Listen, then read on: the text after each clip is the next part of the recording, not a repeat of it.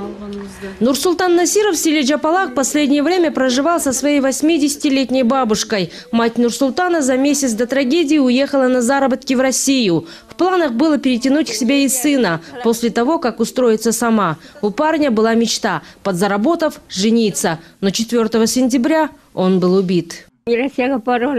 Мать собиралась его женить по приезду из России. Он был единственным сыном моей дочери. Мне больно вдвойне. И за дочь, и за внука. Меня неделю не было дома. Когда вернулась, внучка сказала, что Нурсултан уже неделю не возвращался. Сказала, что надо срочно искать. Если затянем, потом и следов его не найдем. Меня от этих слов передернуло. Я не хотела думать, что он уже не в живых. Просто с друзьями гуляет где-то. Но внучка, видимо, предчувствовала. Мать Нурсултана срочно вернулась из Москвы и два месяца искала сына, ничуть не подозревая, что обидчики совсем рядом. Двое из позднее задержанных даже помогали ей в поисках. Уже позже выяснилось, что парня убил его друг Бекбулот, ударив арматурой по голове.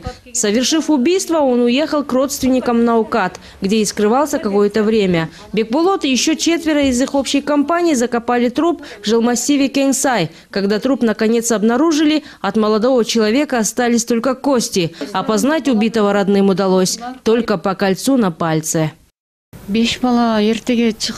Эти пятеро парней выйдут на свободу и завтра опять же совершат такое же преступление. Я не хочу, чтобы другие родители страдали, как я. Они должны понести наказание. Сельчане выгораживают остальных. Говорят, пусть наказание понесет только тот, кто убил. Я не согласна, ведь остальные видели и не помогли моему сыну. Никто из них не пытался вызвать скорую. Никто не предложил отнести тело домой. Тогда его не съели бы собаки. Я осталась одна. Он был смыслом моей жизни. По подозрению в убийстве задержаны пятеро жителей села 93 и 94 года рождения. По версии следствия, сейчас парни пытаются изменить первоначальные показания, а один полностью берет вину на себя. Все они находятся в СИЗО.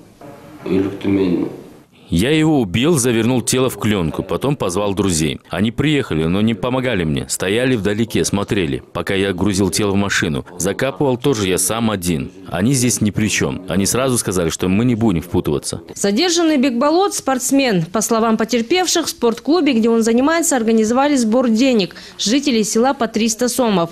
Как говорит мама убитого, чтобы подкупить судью и прокурора. Но сельчане это отрицают. Никаких денег никто не собирал, но большинство сельчан придерживаются одного мнения. Парни, которые не участвовали в убийстве, не должны нести наказание. Причем тут они, эти ребята из хороших семей?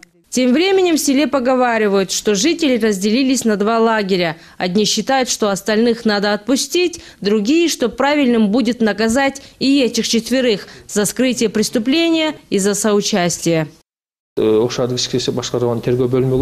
Мы проверили информацию о сборе денег. Она не подтвердилась, но мы не исключаем этот факт. Также в целях предотвращения конфликта между сельчанами мы совместно с органами местного самоуправления начали проводить разъяснительную работу. Мы пытаемся объяснить, что в ситуации разберется суд. Однако пока до суда дело еще не дошло. Как говорят родственники погибшего, семья одного из подозреваемых выставила дом на продажу. Предполагают, что вырученные деньги потратят на то, чтобы откупиться, и дело было замято.